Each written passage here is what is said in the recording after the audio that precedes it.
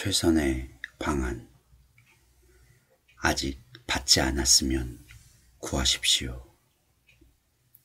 누가복음 11장 10절 구하는 이마다 받을 것이요.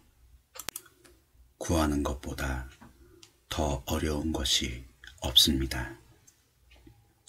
우리는 바라고 원하며 간절히 마음을 태우지만 그러나 극한 상황이 되기까지는 구하지 않습니다. 절망적인 상황만이 우리로 구하게 만드는 것입니다. 당신은 영적 궁핍을 느끼는 가운데 구해본 적이 있습니까? 누구든지 지혜가 부족하거든 하나님께 구하라.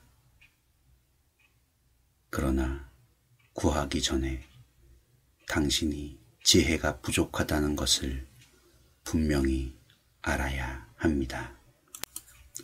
단지 당신이 원한다고 해서 영적 실체를 즉시 체험하게 되는 것이 아닙니다. 만일 영적인 것이 실제로 느껴지지 않을 때, 그때 할 수 있는 최선의 방안은 예수 그리스도의 말씀에 따라 하나님께 성령을 구하는 것입니다. 성령님은 예수님께서 당신을 위하여 이루신 모든 것을 당신 안에서 실제가 되도록 만들어 주시는 분이십니다. 구하는 이마다 받을 것이요. 이 뜻이 구하지 않으면 얻지 못한다고 말하는 것이 아닙니다. 그러나 구하는 그 지경에 이르기까지는 당신은 하나님께로부터 아무것도 받지 않으려 할 것이라는 의미입니다. 받는다는 의미는 당신이 하나님의 아들로서의 관계 속으로 들어갔다는 뜻입니다.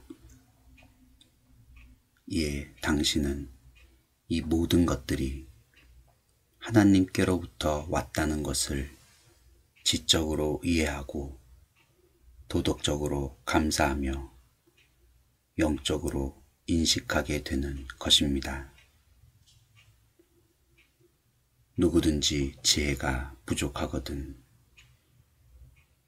당신이 부족하다는 것을 깨달았다면 이는 당신이 영적 실체를 접하게 되었다는 뜻입니다. 이때 당신의 논리로 영적인 눈을 가리지 마십시오. 사람들은 말합니다. 우리에게 간단한 복음만 가르치시오. 우리가 거룩해야 한다고 말하지 마시오. 거룩을 말하면 비참할 정도로 우리가 영적으로 가난한 것을 느끼기 때문이요. 지독하게 가난하게 느끼게 만드는 것은 좋은 것이 아니요. 그러나 구하라는 의미는 구걸하라는 의미입니다. 어떤 사람들은 너무나 가난하여 그 빈곤을 인정하고 구걸합니다. 영적으로도 그러합니다. 만일 우리가 다른 목적을 염두에 두고 구하면 결코 받을 수가 없을 것입니다.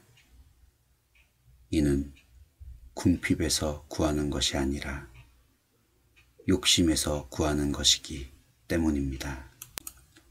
거지는 다른 이유로 구걸하지 않습니다. 오직 자신의 비참할 정도의 가난 때문에 구걸할 뿐입니다. 그는 구걸하는 것이 부끄럽지 않습니다. 영적으로 거지가 된 자는 복이 있습니다.